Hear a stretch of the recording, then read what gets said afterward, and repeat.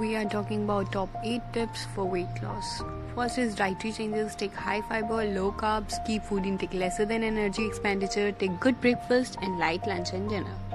Second is do your routine workout, burn your calories, do walking, jogging, swimming, cycling, and aerobic exercises. Third, take a good sleep, 7 to 8 hours of sleep is enough.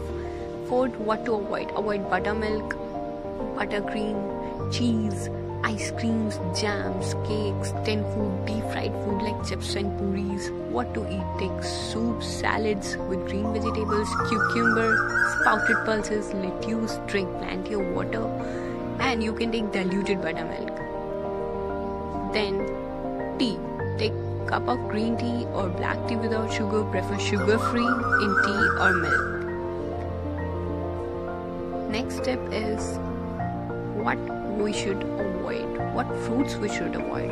Like sweet pulp fruits like mango chiku banana grapes these should be avoided. Eighth is eating habit. We should eat very slowly and leftover should shouldn't be consumed and garbage is a better option.